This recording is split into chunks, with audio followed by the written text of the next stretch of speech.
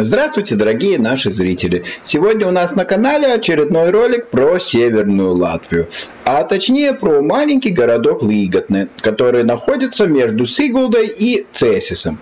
И если Сигулда э, очень хорошо известна и распиарена, Цесис менее известен, но все-таки тоже туда благодаря замку приезжают, больше туристов, то Лиготне находится несколько в тени своих более знаменитых соседей.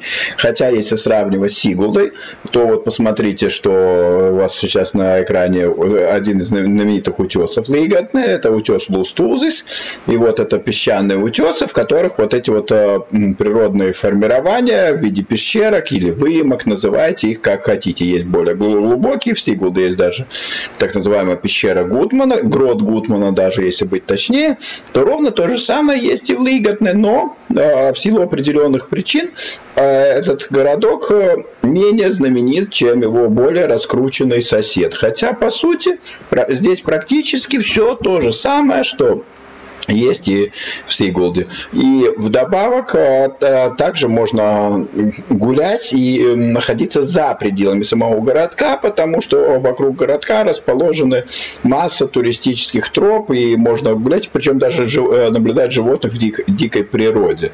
Э, они, конечно, огорожены от посетителей, но есть, есть тропы.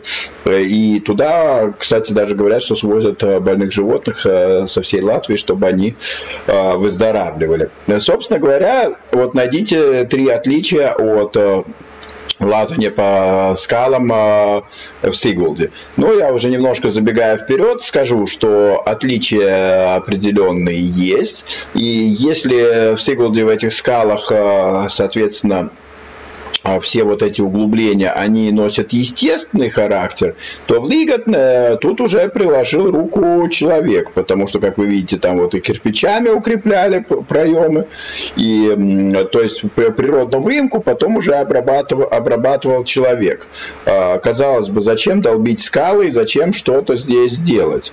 Но, а, собственно говоря, из этого и складывается история Лиготне, потому что в Лиготне еще в 19 XIX веке была основана бумажная фабрика, которая просуществовала аж до 2013 года.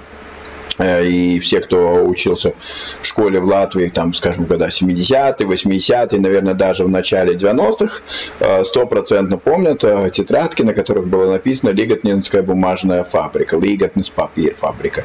Ну так вот, собственно говоря, вот эта папир фабрика и здесь существовала, пока в 2013 году счастливо не закрылась. И тогда, значит, у города вынужденные даже, можно сказать, произошли изменения, и город стал э, вынужден искать какие-то альтернативные источники существования. Ну и, альтернативным источником существования для Лиготне стал туризм. Э, э, да, то, в основном это, конечно, местные туристы, но, в принципе, не только местные, потому что мы слышали и речь иностранную, и английскую, и немецкую, и финны какие-то были. Да, не настолько много, как в Сиголде, но э, хватает достаточно много. Причем, если вы не любите гулять э, среди толп, а в Сигулде действительно реально много народу, и вот э, не всем нравится гулять по таким лесенкам, когда вокруг тебя шныряет куча народу, э, то в этом отношении Лиготно, конечно, Э, идеально. И, в принципе, в плане видов вы увидите практически все то же самое. Э, в Сиголде есть, конечно, Турайский замок, да, на который вот с этих холмов открываются великолепные виды, но в Лиготне есть рядом Цесис, э, и в Цесисе тоже есть замок, который абсолютно не хуже Турайского замка. То есть можно объединить Цесис и Лиготне. Собственно говоря, что и рекомендуется. Или же объединять лиготность с природными, природными тропами. А, видов действительно здесь а, хватает, а, и можно делать даже вот что, чем, собственно говоря, большинство народа и занимается, ходит и делает прикольные фоточки, красивые видовые на фоне вот всевозможных углублений в этих скалах. Мы э, пока ходили, видели, что люди э, сидят в этих углублениях, фотографируют фотографируется. В общем, за, э, достаточно забавно. А вот там вдалеке на фоне это развалины первой бумажной фабрики. Да, конечно, она была подшаманена и э, реновирована. Э, ну как реновирована, это еще в те э, времена, наверное, это в прошлом э, веке еще. И, конечно, это не 1800-х, э, конца 19 века здание так и просуществовало до самого конца. Но, тем не менее, это первое историческое здание, и вот в угоду туристам сохранились, сохранилась еще кое-какая, архите... Э, кое-какая инфраструктура от э, этой бума... бумажной фабрики. Собственно говоря, в Лиготне есть э, многое, что связано с бумагой.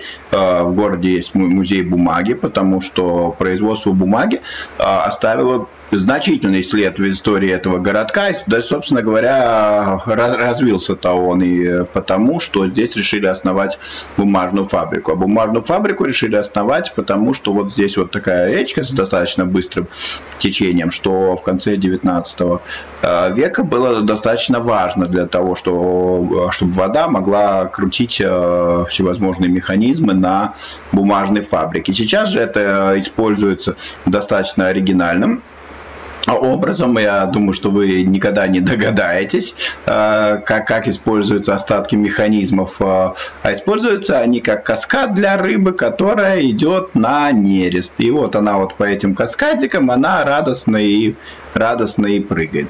Я вот не знаю, можно ли под, или нет подойти к старому зданию. Наверное, наверное, можно, но такого ничего архиинтересного в этом здании там э, нет.